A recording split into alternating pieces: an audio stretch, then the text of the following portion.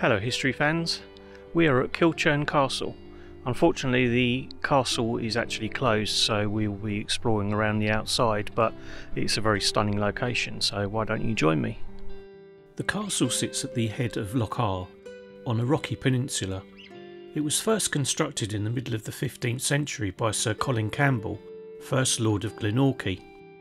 The Campbells of Glenorchy were the most powerful junior branch of Clan Campbell and came to dominate the Central Highlands from the 1430s.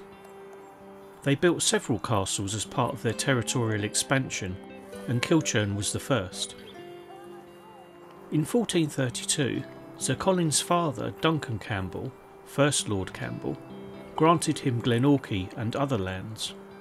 The first castle comprised a five storey tower house, with a courtyard defended by an outer wall at the time, Kilchurn was on a small island barely any larger than the castle's footprint and would have been accessed via a causeway.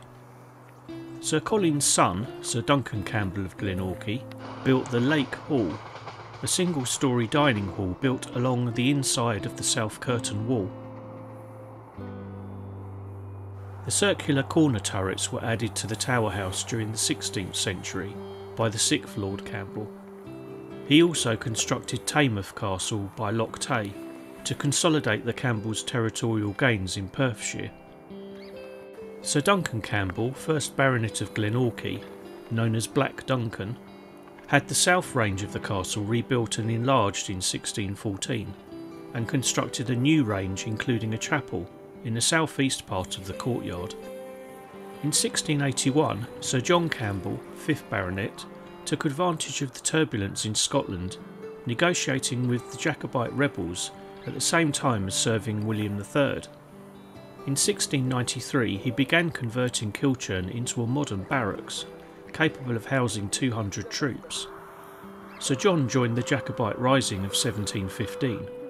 Following its failure, he returned home to find pro government members of his household had turned Kilchurn over to Alexander Campbell of Fonab to whom he surrendered in February 1716.